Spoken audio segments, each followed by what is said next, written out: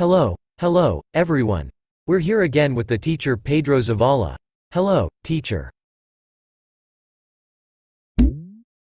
Hello, Michael. I'm happy to be here with you. You told me you wanted me to teach you.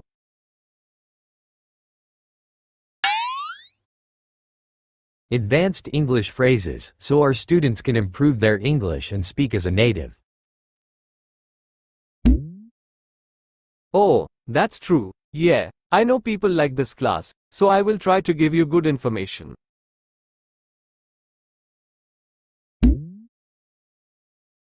It's important to know these advanced phrases in English, if you want to improve your English, of course. So, what would you say about these videos? For example, are they interesting?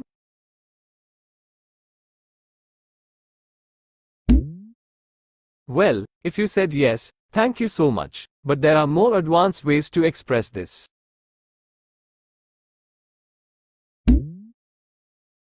For example, you can say, it's fascinating, or, it's intriguing.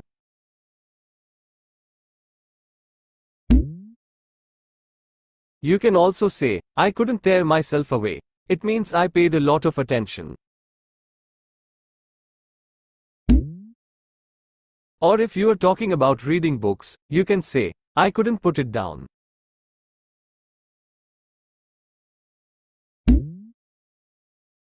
This phrase means that the book you're reading is extremely interesting. I couldn't put it down.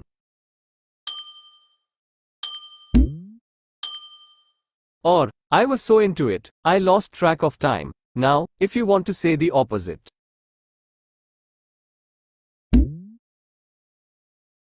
I mean, that something was boring to you, you can say, I was bored to death. That means something was really boring, or, I was bored to tears.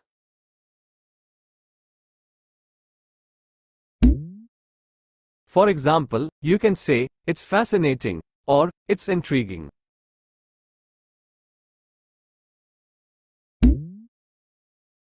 That conference was horrible. I was bored to tears. The speaker was the worst ever.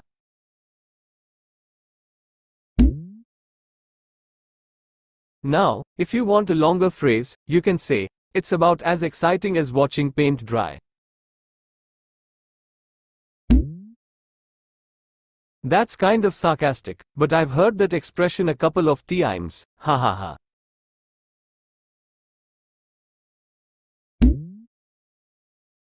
Now, we all have problems in life. I know that perfectly, so if you see a friend worried,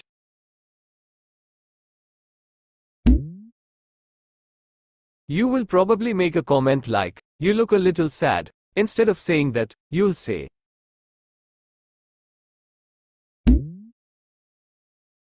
You look a bit down. Is there anything I can do to help? If you're a good friend.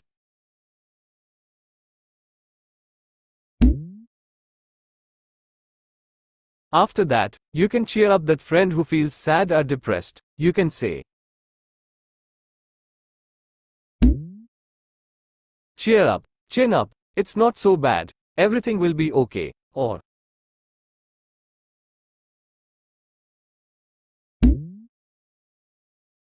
Look on the bright side. You say this phrase to tell your friend to consider the positive aspects. You can say, I know you failed the exam, but look on the bright side, we can talk to the teacher to ask her for an opportunity. Or, it's not the end of the world. This phrase is used when someone is upset about something small and trivial. For example, if your friend's favorite soccer team lost the finals, you can say,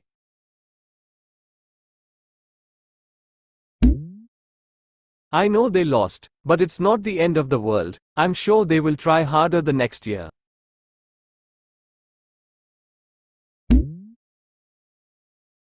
Make sure to use these phrases in your everyday life. That's the only way to improve your English.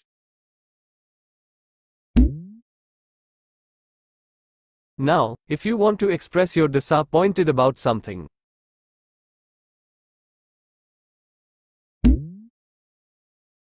You can say, what a pity, or, what a shame.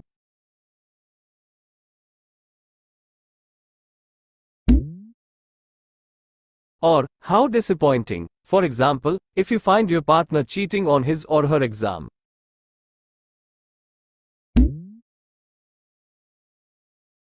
You can say, I can't believe you are cheating on your exam, we studied hard for it. How disappointing.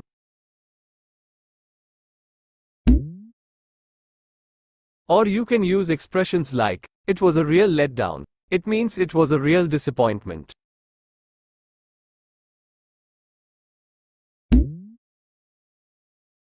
Or maybe you watched a movie a friend recommended you, saying it was really good.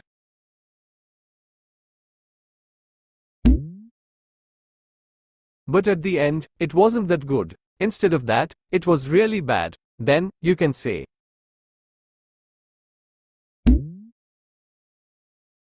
The movie you recommended me was boring. It didn't live up to my expectations. I'm gonna teach you some phrases to indicate you don't believe someone. Pay attention.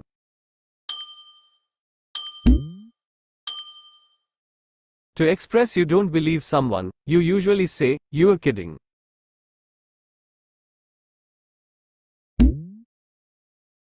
Or, you must be joking. Well, instead of saying that, you can say, you are pulling my leg.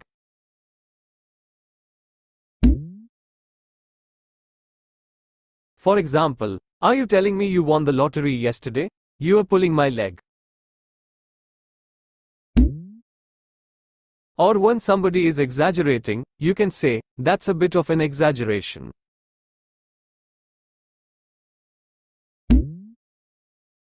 Or, he's stretching the truth. He's not telling the whole truth.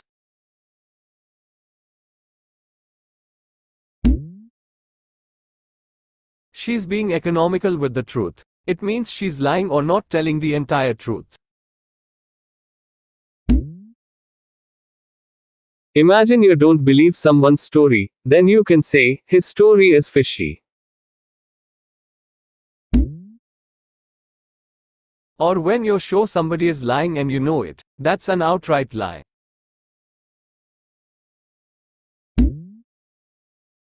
And followed by this, if someone is lying, it means that person is not a good person, right?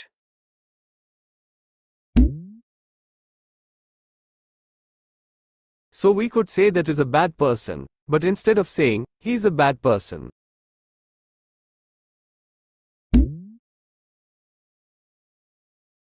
We can use different expressions like, he's a creep, or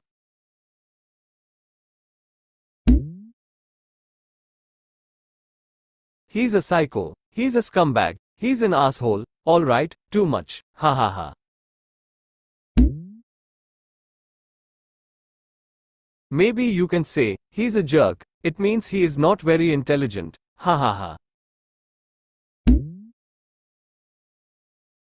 There are stronger insults, but we can leave that for a next video, if you want it.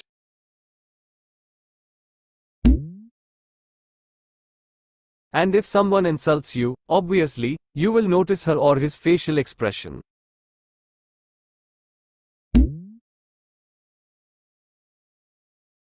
Then we need to know how to describe those facial expressions. Am I right? For example, if you look somebody very happy, you say, she looks very happy.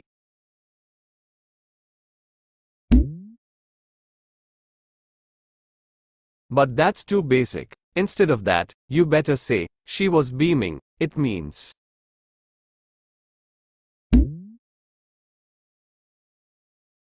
She had a big, radiant smile, or, she was smiling from ear to ear. Other examples of facial expressions are, he looked puzzled, instead of confused.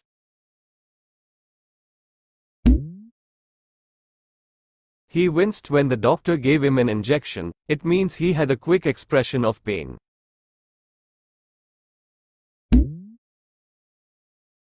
She gave me a dirty look. It means, she looked at me angrily.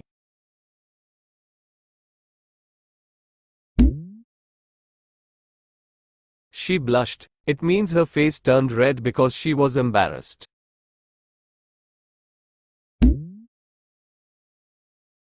Why the long face? It's an informal expression to ask why someone looks sad or upset. Or, her expression was unreadable. When you can't know what she is feeling.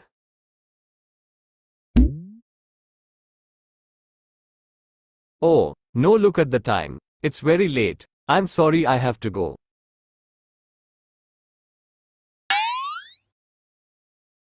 Yeah, I get it. That was a very fascinating class. Thank you very much.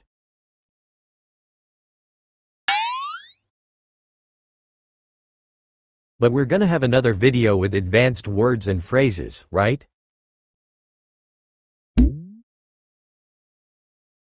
I don't know. We have already made some videos. Maybe, the students are getting bored.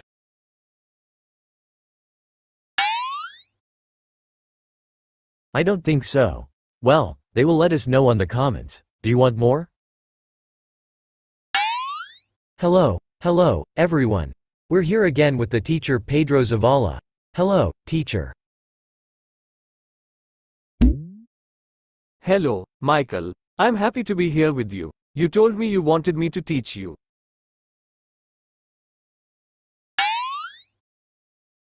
Advanced English phrases, so our students can improve their English and speak as a native.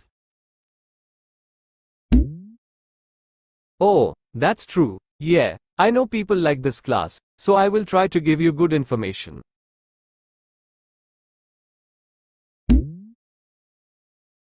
It's important to know these advanced phrases in English, if you want to improve your English, of course.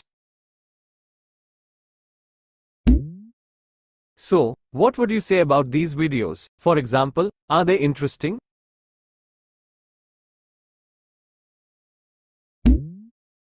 Well, if you said yes, thank you so much, but there are more advanced ways to express this.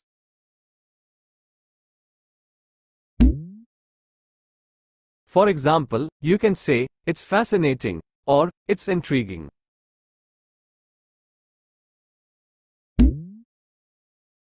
You can also say, I couldn't tear myself away. It means I paid a lot of attention. Or if you are talking about reading books, you can say, I couldn't put it down.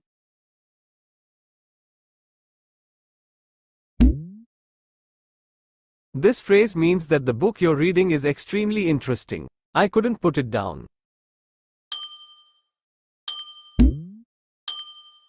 Or, I was so into it, I lost track of time. Now, if you want to say the opposite.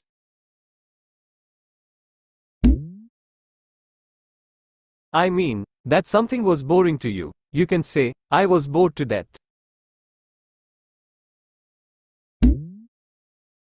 That means something was really boring, or, I was bored to tears.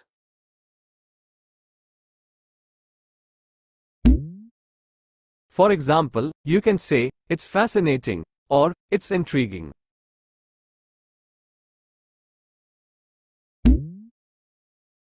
That conference was horrible. I was bored to tears. The speaker was the worst ever.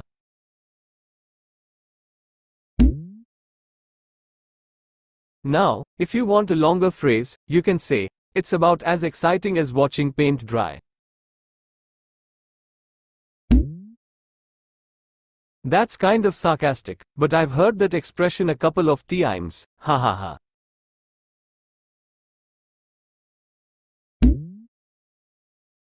Now, we all have problems in life. I know that perfectly, so if you see a friend worried,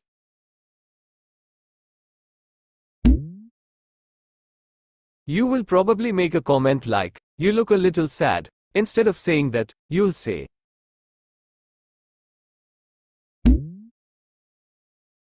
You look a bit down. Is there anything I can do to help? If you're a good friend.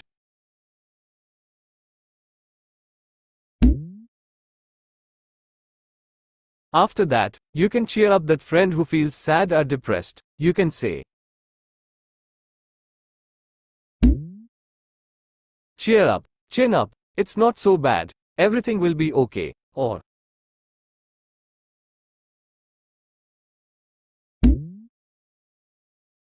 Look on the bright side. You say this phrase to tell your friend to consider the positive aspects.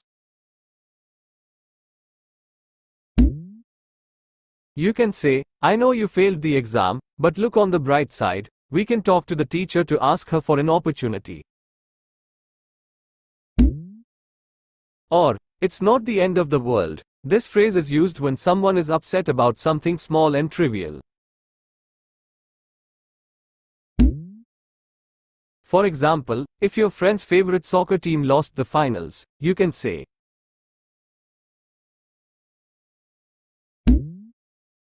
I know they lost, but it's not the end of the world. I'm sure they will try harder the next year.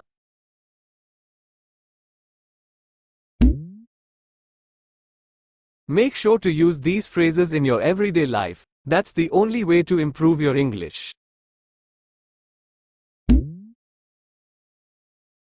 Now, if you want to express your disappointed about something,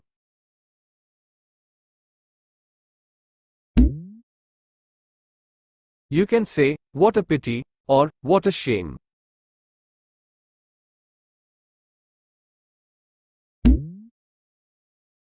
Or, how disappointing. For example, if you find your partner cheating on his or her exam.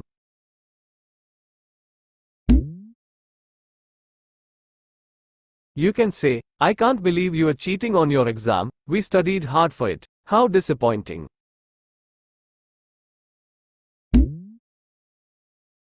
Or you can use expressions like, it was a real letdown. It means it was a real disappointment.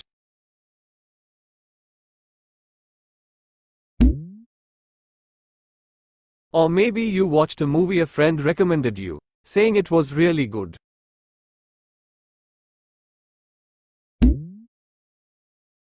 But at the end, it wasn't that good. Instead of that, it was really bad. Then, you can say,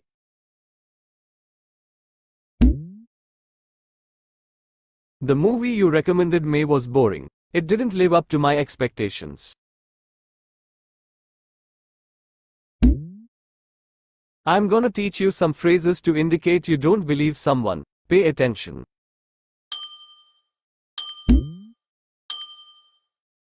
To express you don't believe someone, you usually say, you're kidding.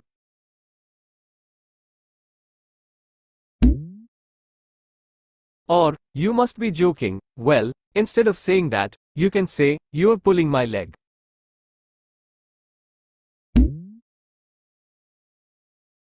For example, are you telling me you won the lottery yesterday? You are pulling my leg. Or when somebody is exaggerating, you can say, that's a bit of an exaggeration.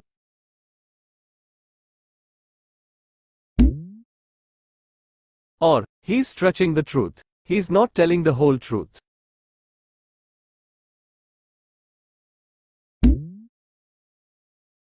She's being economical with the truth. It means she's lying or not telling the entire truth.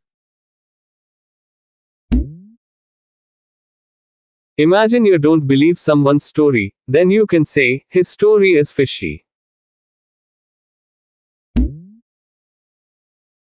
Or when you're sure somebody is lying and you know it, that's an outright lie.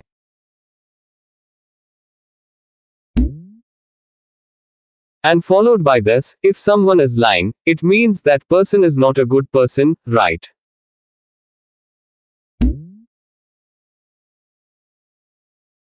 So we could say that is a bad person, but instead of saying, he's a bad person,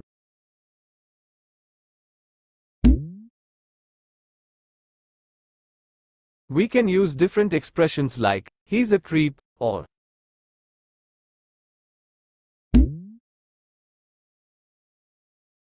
he's a psycho, he's a scumbag, he's an asshole, alright, too much, ha ha ha.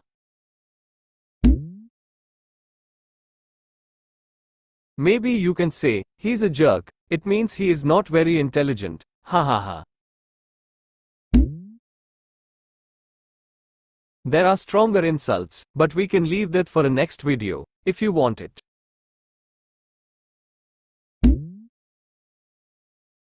And if someone insults you, obviously, you will notice her or his facial expression.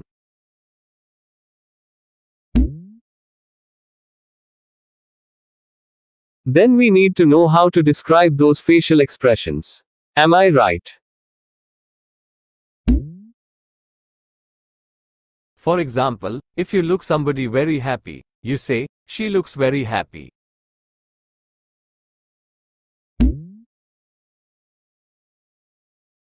But that's too basic. Instead of that, you better say, she was beaming. It means.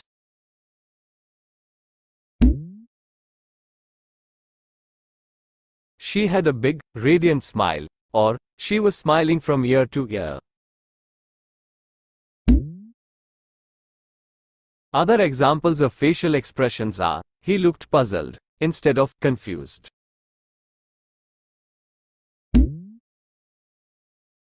He winced when the doctor gave him an injection, it means he had a quick expression of pain.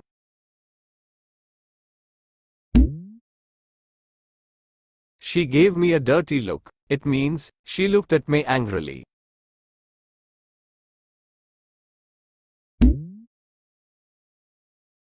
She blushed, it means her face turned red because she was embarrassed.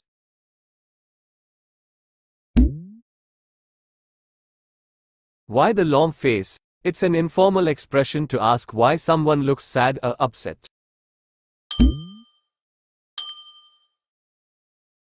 Or, her expression was unreadable.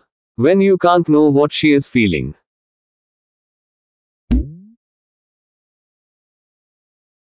Oh, no look at the time. It's very late. I'm sorry I have to go.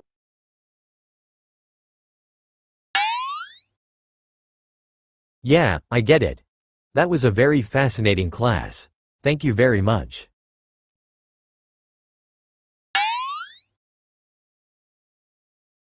But we're gonna have another video with advanced words and phrases, right?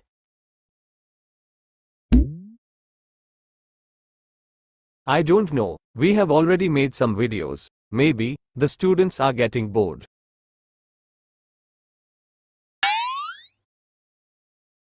I don't think so. Well, they will let us know on the comments. Do you want more? Listen to the questions and answers and improve your English. Subscribe for more.